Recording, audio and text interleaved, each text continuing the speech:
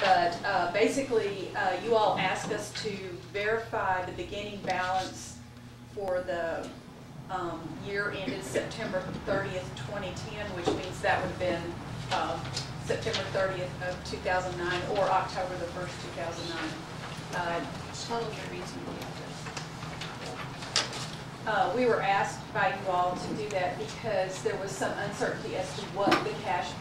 actually was. There were several different reports